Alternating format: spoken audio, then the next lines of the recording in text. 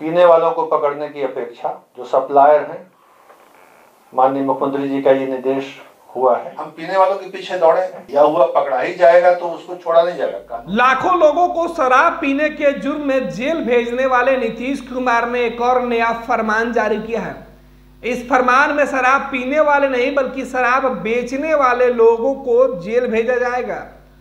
Police अब drone से लेकर हेलीकॉप्टर तक उड़ाएगी और शराब पीने वाले नहीं, बल्कि बेचने वाले के ऊपर एक्शन लेगी। पुलिस की प्राथमिकता बदल गई है। अब पुलिस जो शराब बेचने वाले हैं, उनके ऊपर सीधे तौर पर एक्शन लेगी। हालाँकि शराब पीने वाले पकड़े जाएँगे, वो भी नहीं बचेंगे। लेकिन पुलिस की प्राथमिकता बदल गई है। वो पीने वाले से ज़्यादा शराब बेचने वाले की अब तलाश करेगी। लाखों लोगों को जेल भेजने के बाद हाईकोर्ट से लेकर सुप्रीम कोर्ट में सरकार की खूब किरकिरी हुई क्योंकि ये सभी लोग शराब पीकर जेल गए थे। ऐसे में नीतीश कुमार एक बार फिर से यू टर्न लेते हुए अब नया फरमान जारी किए हैं और इस बात की जानकारी मुख्य सचिव खुद दे रहे हैं। नीतीश कुमार ने शराबबंदी में और सख्ती के लिए जो समीक्षा बैठक बुलाई थी, उसमें यह फरमान दिया गया था। माननीय मुख्यमंत्री जी ने शराबबंदी से जुड़े हुए मामलों पर बहुत विस्तार से समीक्षा की है। माननीय मुख्यमंत्री जी ने निर्देश दिया कि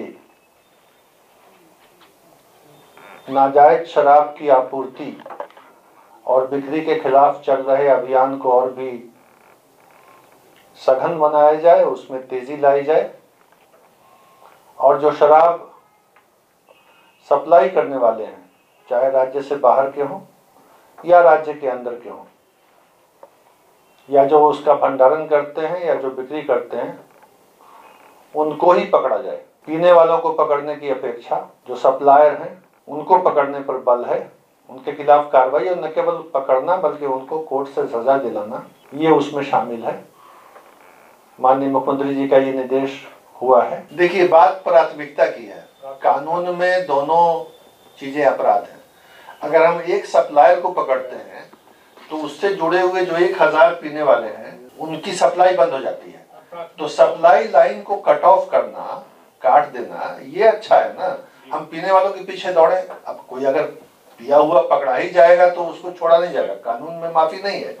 लेकिन प्राथमिकता प्रायोरिटी हाँ सप्लाई लाइन ही बंद होगी तो लोग पिएँगे ही नहीं। पीने वालों की संख्या में कमी आएगी। इसलिए प्राथमिकता उसी बट ये हम ये संदेश नहीं देना चाहते हैं कि लोग पी करके आराम से घूमे हम नहीं पकड़ेंगे। अच्छा किए क्लियर कर दिए। लेकिन इस बात की कभी कभी आलोचना होती थी। आलोचना ही होती उस, इस, इस, इस, इस बात की कभी कभी आलोचना होती थी कि पुलिस या उत्पाद विभाग केवल पीने वालों को पकड़ते हैं। तो उसी का जवाब दिया गया कि हमारा फोकस और प्रायोरिटी उधर है। लेकिन अगर नेट में कोई आ गया कानून के पकड़ में कोई आ गया पीने वाला तो अपराध तो बारह अपराध एलटीएफ को दोबारा गाड़ियाँ दे दी गई हैं। उनका था। विभाग से गाड़ियाँ दे दी गई अब गाड़ियाँ चल रही कोर्ट से जुर्माना लेकर के छोड़ने का काम हो रहा है। इसलिए उद्देश्य जो एक्ट का है वो अगर एग्जीक्यूटिव मजिस्ट्रेट से नहीं हो रहा है तो जुडिशियल मजिस्ट्रेट से हो रहा है। बात बराबर है कोर्ट कोई भी हो प्रावधान लागू हो चुका है और उसका असर भी है।